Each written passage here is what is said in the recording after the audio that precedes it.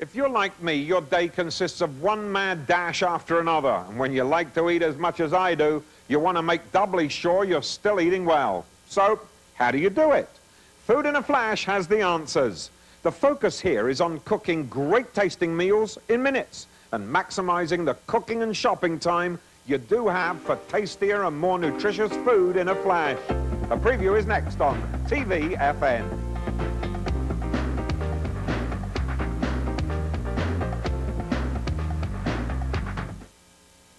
The average American spends about eight hours a day sleeping, 10 hours a day working and commuting, and about four and a half hours ironing, mowing the lawn, dusting, getting the kids ready, paying bills, changing diapers, raking, and relaxing.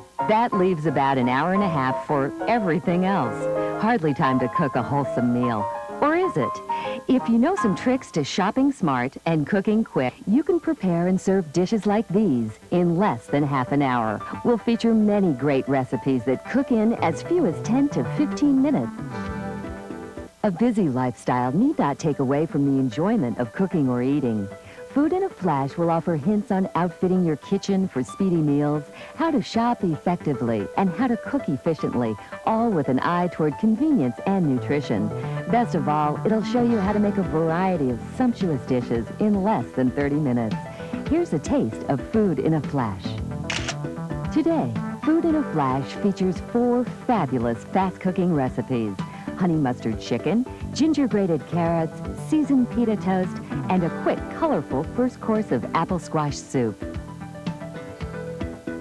Begin the soup by cooking two tablespoons of chopped onions in two tablespoons of butter until the onions are softened, about two minutes. Preparing any dish goes much faster if you gather all the ingredients and utensils before you start to work. Professional chefs call this mise en place, a technique that is used in efficient kitchens throughout the world. When the onions are soft, stir in one teaspoon or more of curry powder and cook briefly.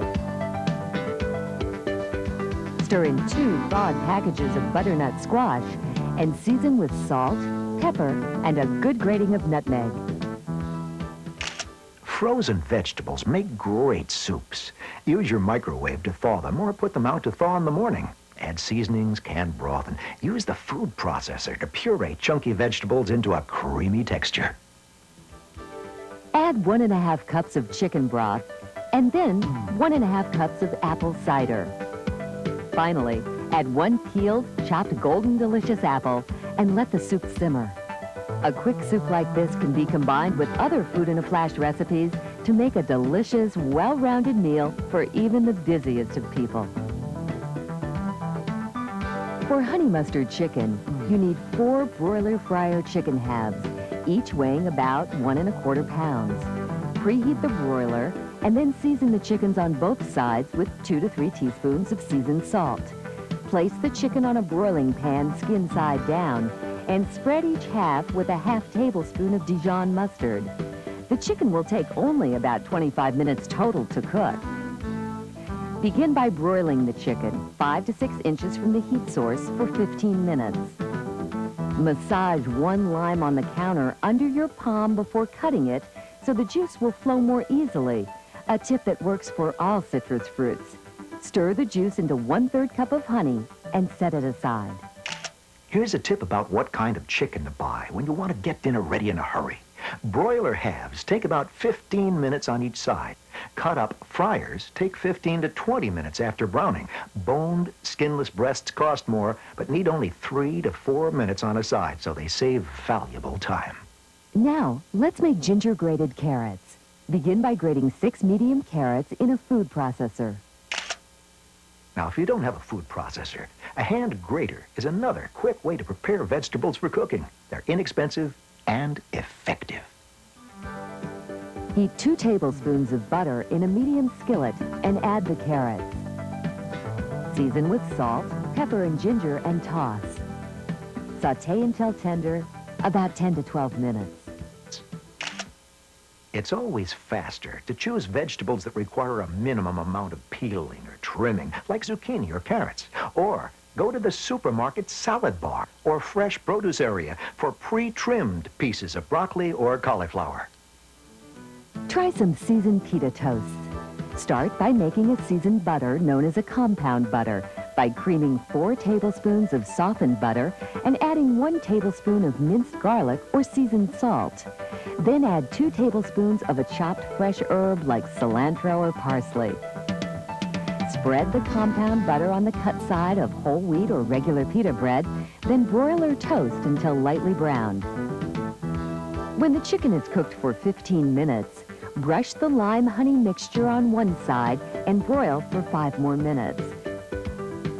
Turn the chicken, spread the other side with the remaining mustard, and return the pan to the broiler for five more minutes or until tender. Test by poking with a thin skewer. The juices should appear yellow or clear. If they're pink, the chicken needs to cook more. Remove the chicken and baste again with honey lime mixture before serving. Just before serving the carrots, squeeze fresh lemon juice over them and add a pat of butter to finish and flavor the dish. As you can see, with recipes from Food in a Flash, delicious, nutritious food doesn't have to be costly or time-consuming. There are hundreds of fabulous dishes that can be prepared in under 30 minutes, and all with the joy that accompanies cooking and eating a scrumptious meal. Look for Food in a Flash, only on the TV Food Network. You are what you eat, and what you eat is what the Television Food Network is all about. It's the world's first 24-hour cable network devoted exclusively to food, glorious food. Not just how to eat it, but how to choose it, prepare it, present it, enjoy it, and how it affects your health.